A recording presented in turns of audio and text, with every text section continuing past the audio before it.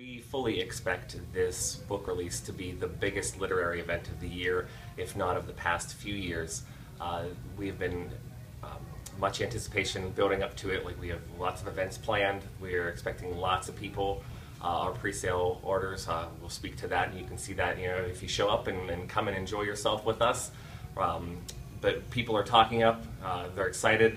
They're going to come dressed up in costume. We're going to have a costume contest. So we want people excited. We want lots of people here, and we are going to have a great time up to that 12:01 uh, midnight release.